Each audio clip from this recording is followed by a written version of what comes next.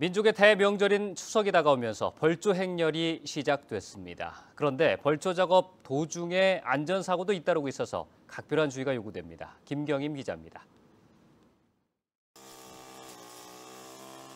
이른 아침부터 공설묘지 곳곳에서 벌초 작업이 한창입니다. 예초기와 낫으로 1년 동안 무성하게 자란 풀을 다듬습니다. 베어낸 잡초는 부지런히 실어 나르고 산소 주변도 깨끗하게 정리합니다. 가족들이 함께 힘을 보태니 잡초로 무성했던 산소는 어느새 말끔한 모습을 드러냅니다.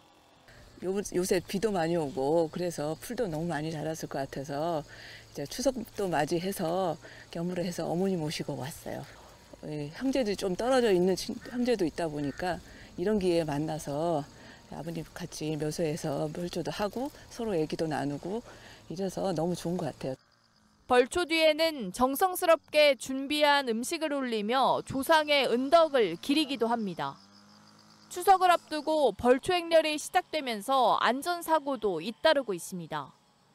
어제 오전 서귀포시의 한 공동묘지에서는 벌초를 하던 50대 남성이 예초기에 다리를 다치기도 했습니다.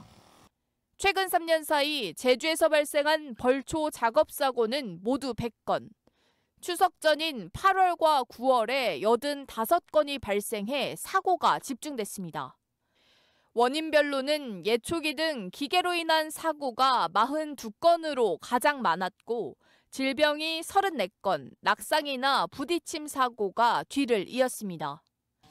예초기는 조금만 부주의해도 큰 사고로 이어질 수 있는 만큼 안전수칙을 지키는 것이 중요합니다.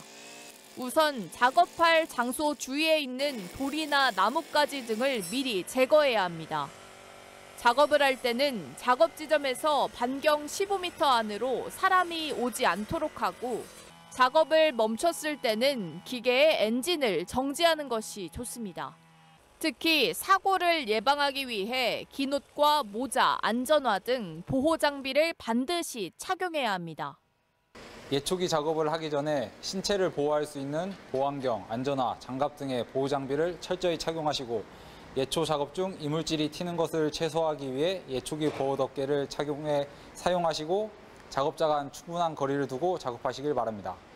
추석이 다가오면서 벌초 행렬이 시작된 가운데 관련 사고가 잇따르는 만큼 각별한 주의가 요구됩니다. KCTV 뉴스 김경임입니다.